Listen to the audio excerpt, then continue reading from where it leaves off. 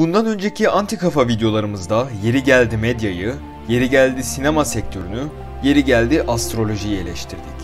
Eleştirilerimiz hep dışa dönüktü. Hiç kendimizi eleştirmemiştik. Ama bu video farklı. Çünkü bu bir öz eleştiri videosu. Bu video kitap okumaktan zevk alan ancak her an bir Don Quixote'a dönüşme potansiyeli olan bizler için bir uyarı, bir kendine getiriş. Peki bir Don Quixote'a nasıl dönüşülür ve biz bir Don Quixote'a dönüşmemek için neler yapmalıyız? Gelin videonun devamında bunun hakkında konuşalım.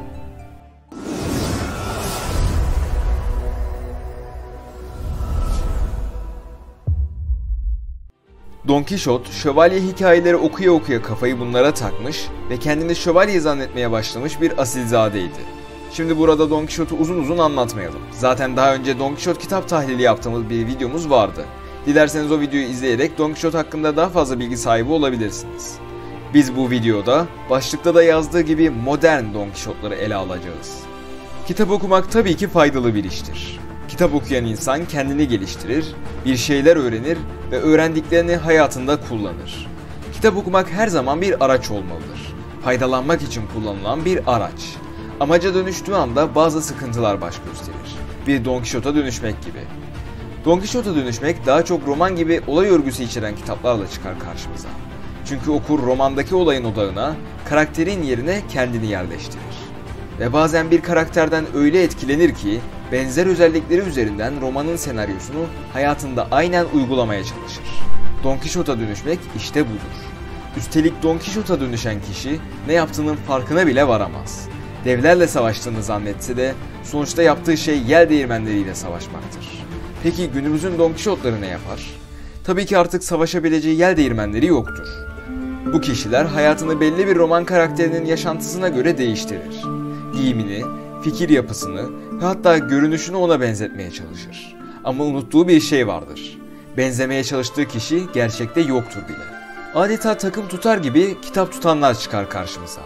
Hatta beğendiği kitapla başka bir kitap kıyas edileceği zaman hararetli tartışmalara bile girebilir bu kişiler. Üstelik savunmak için tartışmaya girdiği şey sadece bir kitaptır. Peki bu kişiler neden böyle yapar? Burada birkaç farklı seçenek düşünebiliriz. Belki olay onu öyle etkilemiştir ki kişi kendini bir anda olayın içinde bulmuştur. Onda uyandırdığı etki kitap bittiğinde olaydan çıkamamasına ve kitabın hayatına yansımasına sebep olmuş olabilir. Belki karakterle özdeşleşen yanları vardır. Karakterdeki benzer özellikleri gördükten sonra farklı olan özellikleri de ona benzetmeye çalışmak istiyor olabilir. Modern Don Quixote'umuz hangi seçeneğe uygun olursa olsun sonuç olarak karakterden ilham almak yerine doğrudan doğruya onu taklit ediyor. Bu da kişinin benliğini yitirmesine sebep oluyor. Peki kitap okumayı seven bir kişi Don Quixote'a dönüşme tehdidine karşı nasıl mücadele etmeli? Bir okur öncelikle şunun sürekli farkında olmalı. Elindeki kitap bir kurgudan oluşuyor. Her ne kadar gerçek hayat hikayesi denilse de eğer elinde tuttuğu şey bir tarih makalesi değil romansa kesinlikle o bir kurgudur. Okur bunun bilincinde olmalı her şeyden önce. Sonrasında şunu da bilmeli. Bu kitabın amacı bir karakteri anlatmak değil, bir ana fikri anlatmak. Kitabın karakteri, yazarın ana fikri aşılamak için kullandığı, gerçekte var olmayan biri sadece.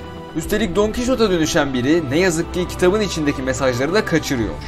Ve bir kitap severin yapması gereken son bir şey daha var Don Quixote'a dönüşmemek için. Bazen kitaplardan kafasını kaldırıp etrafına bakmalı, kitapların ütopik atmosferinden sıyrılıp gerçeğe geri dönmeli ara sıra. Modern bir Don Quixote'a dönüşmesinden endişelendiğiniz arkadaşlarınızla bu videoyu paylaşabilir ve onlarla bu konu üzerinde konuşmalar da yapabilirsiniz. İşe yarayacaktır.